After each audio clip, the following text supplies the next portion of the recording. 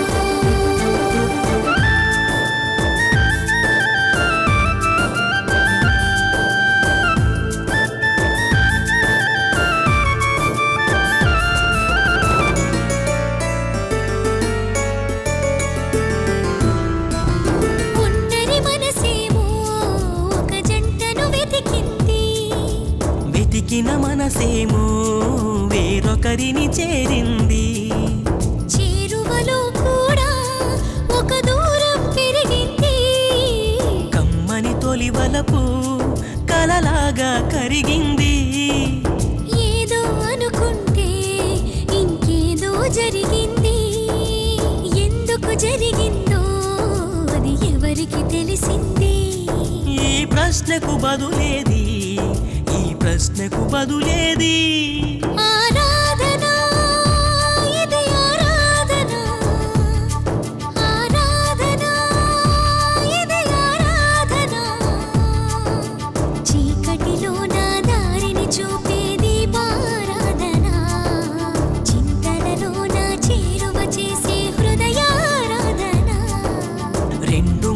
మనసులను ఒక్కటి చేసే ప్రేమారాధన.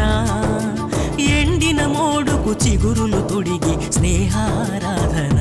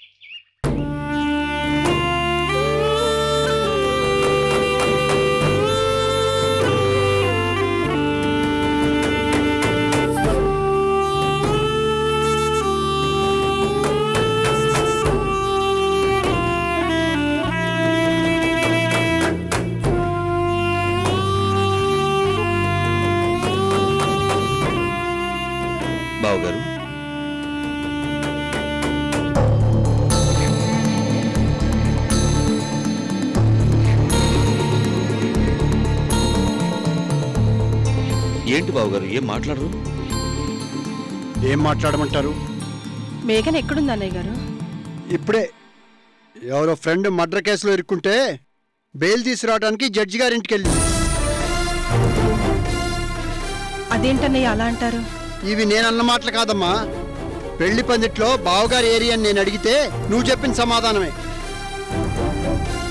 అసలు అప్పుడు ఏం జరిగిందంటే? ఏదైనా జరగనివ్వండి. మీరు నాకు నిజం చెప్పలేదు. నన్ను మోసం చేశారు.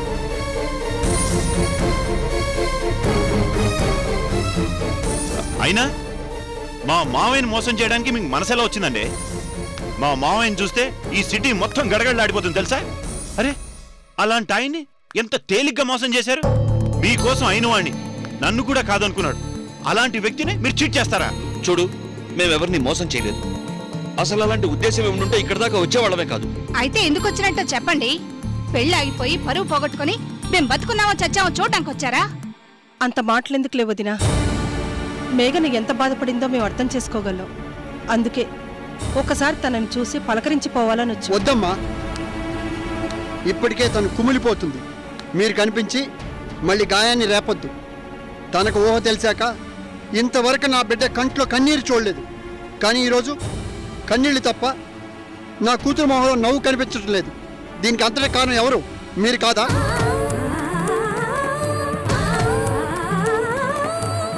చూడండి బావగారు మీరు నమ్మినా నమ్మకపోయినా నేను చెప్పేది మాత్రం నిజం. మీ పరువు తీయాలనో మిమ్మల్ని మోసం చేయాలనో నేను ఏ తప్పు చేయలేదు. వరుణ్ వచ్చి ఇలా జరిగింది అని చెప్పగానే నాకేం చేయాలో పాలుపోలేదు పెళ్ళిలో ఈ విషయం తెలిస్తే గందరగోళం అవుతుందని నేను బయట పెట్టలేదు నేనే ప్రాబ్లం సాల్వ్ చేద్దాం అనుకున్నాను. కానీ చివరికి జరిగిందేంటి? అందరిలోనూ మేము ఫూల్స్ అయ్యాం. అసలు ఇలా జరిగింది బావగారని ఒక్క మాట అని ఉంటే ఏ పోలీసు వాడిని కళ్యాణ మండపం దరిదాపుల్లో కూడా రానిచ్చేవాడిని కాదు. ఏంటండి మీరు? అసలు మర్డర్ చేసిన వాడికి పిల్లనివ్వాలన్న ఆలోచనే తప్పు. అది చాలదన్నట్టు ముందే తెలిస్తే కాపాడేవాడిని అంటున్నారు. వదినా మా వరుణ్ హంతకుడు కాదు. వాడికి మరో మనిషిని చంపడం తెలీదు. మేఘనా నువ్వైనా మీ నాన్నతో చెప్పమ్మా. వరుణ్ అలాంటివాడా? అవునమ్మా. ఫ్రెండ్ చనిపోతున్నాడు అని చెప్తే కాపాడడం కోసం వెళ్ళాడు. అనుకోకుండా తను కేసులో ఇరుక్కున్నాడు. ఏండి అసలు నాకు తెలియక అడుగుతాను. ఇప్పుడు మీరు వరుణ్కి కన్న తండ్రిగా వచ్చారా? లేక అతని తరఫున లాయర్గా వచ్చి మాట్లాడుతున్నారా? తండ్రిగా అయితే ఏ తండ్రి తన బిడ్డ అపరాధి అని చెప్పడం. అదే లాయర్గా వచ్చుంటే కళ్ళ ముందు వందల మందిని చంపిన నా క్లయింట్ నిరపరాధే అని వాదిస్తాడు. అంత మందిని చంపిన కసబ్ని కూడా వాళ్ళ లాయరు వాడు అసలు హత్యలే చేయలేదని చెప్పాడు. మీరెంత? సూరి నువ్వు అనవసరంగా మధ్యలో రావద్దు. వీడు నా బావమరిది. నా కోసం అలాగే మాట్లాడతాడు. వీడి మీద అనవసరంగా కోపం తెచ్చుకోకండి. నేను ఎవరి మీద కోపం చూపించడం లేదండి. దయచేసి తొందరపడొద్దు అని చెప్పడానికి వచ్చాను. మీరు చూస్తూ ఉండండి. నా కొడుకు నిరపరాధిగా నిరూపించి మరీ బయటకు తీసుకొస్తాను. ఆ రోజున అందరి ముందు ఇంతకు రెండింతలు గ్రాండ్గా పెళ్ళి చేద్దాం. పోయిన పరువుని మళ్ళీ మీకు తెప్పించి పెడతాను. ఇట్స్ మై ఛాలెంజ్ జానకి రా రామ్మా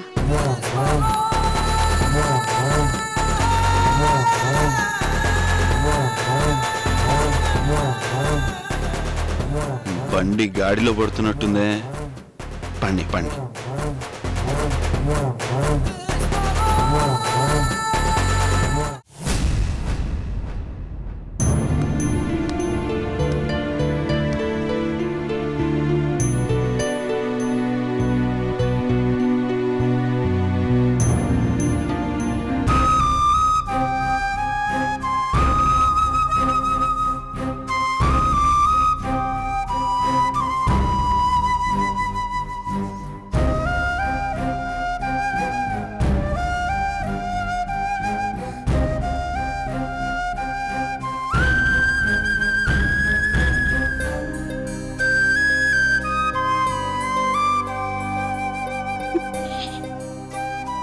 ఏంట్రా వరుణ్?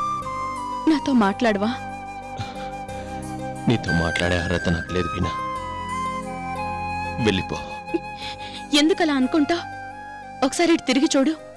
ప్లీజ్ వరుణ్.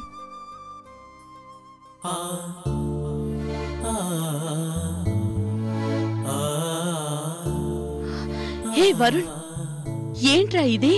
చిన్నపిల్లాళ్ళ కన్నీళ్ళేంటి? తుడుచుకోరా.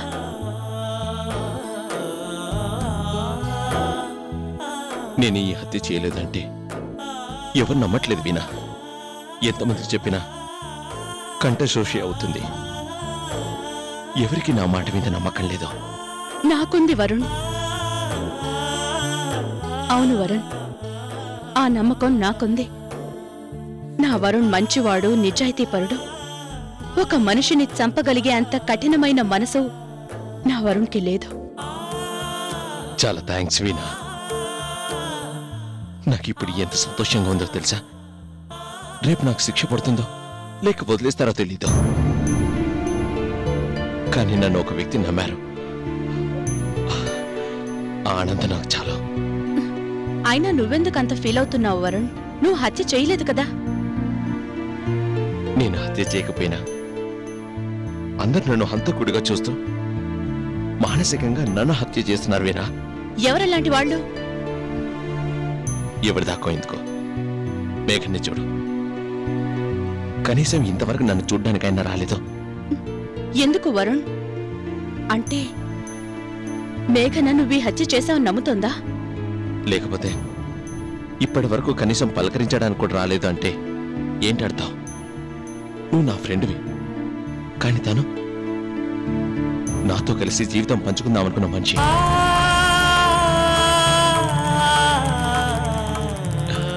నీకు నా మీద ఎంత నమ్మకం ఉంది? కానీ ఈ నమ్మకం తనకు లేకుండా పోయింది. వరుణ్ నువ్వు ప్రతిదీ అలా నెగటివ్గా ఆలోచించుకో. అసలు తను ఎలాంటి పరిస్థితుల్లో ఉందో ఏంటో అనుకోకుండా జరిగిన ఈ సంఘటన నుంచి ఇంకా తేరుకుందో లేదో. నువ్వు మంచి మనసున్న మనిషివి కాబట్టి ఇంత పాజిటివ్గా ఆలోచించా. కానీ తను మాత్రం ఒక్కసారి కూడా నా గురించి ఆలోచించి ఉండదు. నువ్వు చెప్పు వీణా. నిజంగా ప్రేమంటే ఇంతేనా? వరుణ్ నువ్వు అనవసరంగా చిన్న విషయాన్ని పెద్దదిగా చేస్తున్నావు. ఈ మాత్రం దానికే నీ మీద ప్రేమ లేనట్టా? ప్రేమ లేకపోతే పెళ్ళిదాకా ఎందుకొస్తుంది? ఏమో వీణా. ఈ కటకటాల మధ్య బ్రతుకుతూ నీ అంత బ్రాడ్గా ఆలోచించడం నాకు రావడం లేదు. నాకు సహాయం చేస్తావా? చెప్పు వరుణ్ నీకోసం నేనేం చేయడానికైనా సిద్ధంగా ఉన్నాను. అయితే ఓసారి మేఘనం కలిసి ఇక్కడ నేను పడే బాధ గురించి వివరించు. నన్ను కాపాడకపోయినా కనీసం చూడ్డానికైనా వచ్చి పోమాను. నువ్వేం దిగులు పడకు వరుణ్. నీకు ఎవరున్నా లేకపోయినా నేనున్నాను. నిన్ను నిర్దోషిగా నిరూపిస్తాను. నా వెనక కొండంత అండగా మా నాన్నున్నారు. నీకు తప్పకుండా సహాయం చేస్తారు. You don't worry. వస్తాను.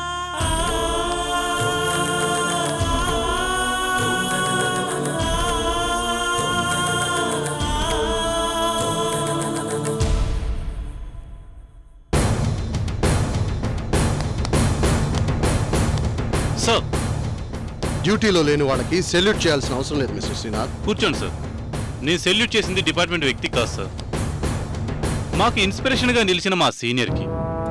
మీరేంటో మీ సిన్సియారిటీ ఏంటో నాకు బాగా తెలుసు సార్ మీరు జాబులో ఉన్నా లేకపోయినా మీ మీద ఉండే గౌరవం ఎప్పుడు ఇలాగే ఉంటుంది sir thank you mister Srinath. నా సిన్సియారిటీని మన డిపార్ట్మెంట్ గుర్తించకపోయినా నువ్వు గుర్తించావు. అదేంటి సార్ అలా అంటారు? మబ్బులు అడ్డం పడ్డంత మాత్రాన? సూర్యుడిలో వెలిగిపోతుందా? ఎన్ని అవంతరాలు వచ్చినా మీరేంటో మా లాంటి వాళ్ళకి బాగా తెలుసు. మీ మీద గౌరవం ఎప్పటికీ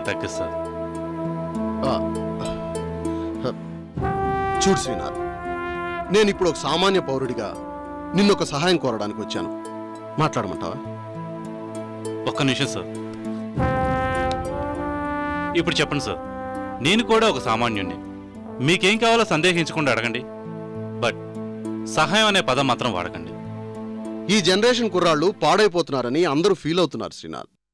కానీ నీలాంటి వాళ్ళని చూస్తే వాళ్ళు ఖచ్చితంగా తమ అభిప్రాయాలను మార్చుకుంటారు.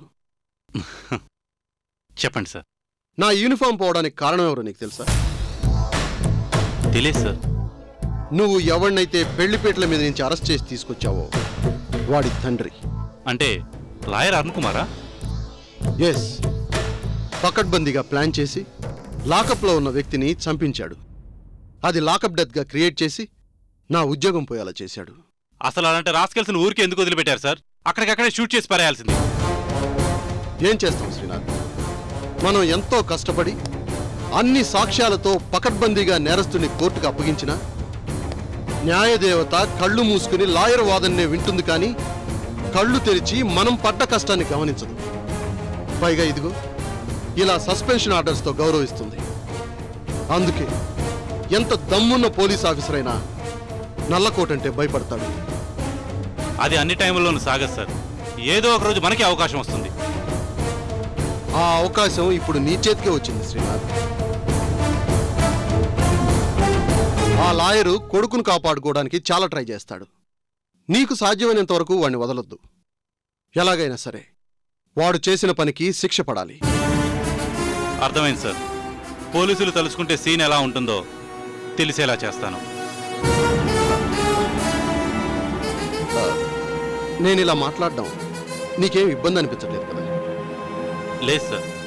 అవతల వ్యక్తి అధర్మ యుద్ధం చేస్తున్నప్పుడు మనం మాత్రం రూల్స్ అండ్ రెగ్యులేషన్స్ అంటూ ఎందుకు చూస్తూ ఊరుకోవాలి సార్? పైగా మీరేం అన్యాయం చేయమని చెప్పడం లేదు కదా? ఆ వరుణ్ హత్య చేశాడని సాక్ష్యాలు కనిపిస్తున్నాయి. నేరం చేసిన వాడు తప్పించుకోకూడదని మీరు చెప్తుంటే దాన్ని నేను వేరేలా ఎందుకు ఫీల్ అవుతాను చెప్పండి? డ్యూటీలో లేకపోయినా మీరెంత రెస్పాన్సిబిలిటీ ఫీల్ అవుతున్నారో తెలుస్తుంది. ఇక మీరు ఈ విషయం మర్చిపోండి. మిగతాది నేను చూసుకుంటాను. థ్యాంక్ యూ శ్రీనాథ్ అన్నట్టు మీ సస్పెన్షన్ మీద కోర్టుకు వెళ్ళారా? అవసరం లేదు శ్రీనాథ్ మన డిపార్ట్మెంట్ నా సిన్సియారిటీని గుర్తించిన రోజే మళ్ళీ డ్యూటీ చేస్తాను. వస్తాను. సార్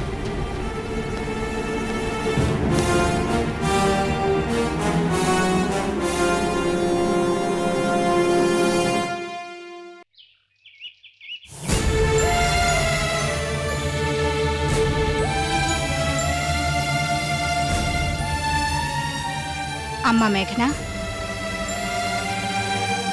ఎవరో వీణట నీతో మాట్లాడాలని వచ్చింది. వీణ? అవునమ్మా. నీతో ఏదో మాట్లాడాలంటోంది. లోపలికి పంపించినా? లేక ఇప్పుడు మాట్లాడినంది అని వెనక్కి పంపించేనా? ఇప్పుడు నేను ఎవరితోనూ మాట్లాడను. వెళ్ళమను. అలాగే. అమ్మా. లోపలికి రమ్మను. అదేంటే? ఇప్పుడే కదా మాట్లాడినన్నావు ఇప్పుడు మాట్లాడతానన్నానుగా. రమ్మను.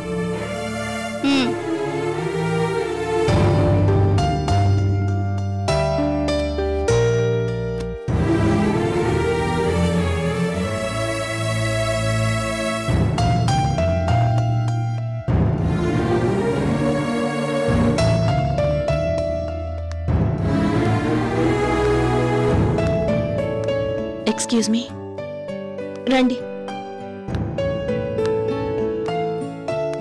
కూర్చోండి.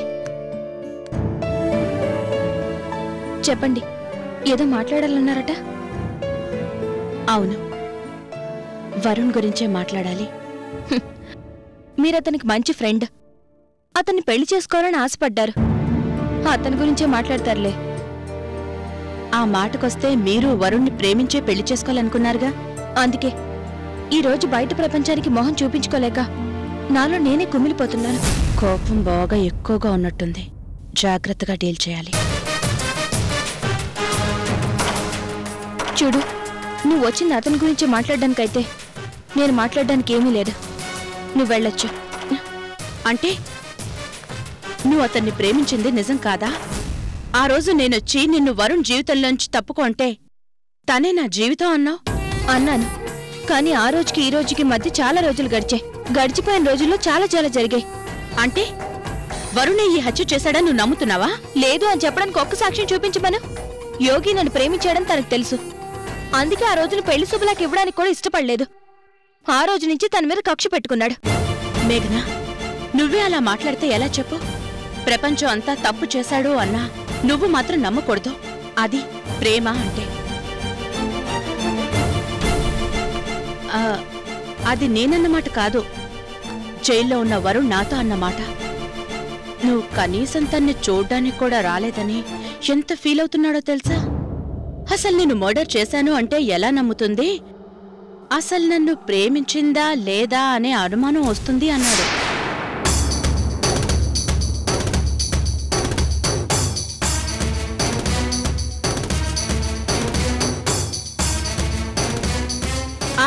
అనుమానం పెరగకుండా ఉండాలంటే నువ్వొచ్చి వరుణ్ణి కలవాలి. లేదంటే ఆ లేదంటే నన్ను వదిలేస్తాడా?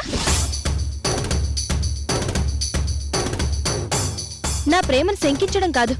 అసలు తను నన్ను ప్రేమించాడా లేదా అని నాకు అనుమానం కలుగుతుంది. మేఘనా? అవును. నిజంగా నన్ను ప్రేమించుంటే ఇలాంటి పని ఎందుకు చేస్తాడు? నాతో కనీసం ఒక్క మాట కూడా చెప్పకుండా నా మెళ్ళ తాలి కట్టడానికి సిద్ధపడ్డాడు. నువ్వు హంతకుడివా అని అడిగితే కాదు అని ఒక్క మాట కూడా చెప్పలేకపోయాడు. తను చేసిన హత్య వీడియోలో సాక్ష్యంగా కనిపిస్తుంటే లేదు అని ఎలా చెప్తాడు? నాకు తెలిసి అతను హంతకుడు అంతే. ప్లీజ్ మేఘ్నా తొందరపడి ఏ నిర్ణయం తీసుకోకు. ఆ మాటకొస్తే మీ నాన్న బ్రతుకుతుంది హత్యలు చేసే. ఇంత ఆస్తి సంపాదించింది కూడా హత్యలు చేసే. ఈ మాట అన్నది కూడా నేను కాదు వరుణి.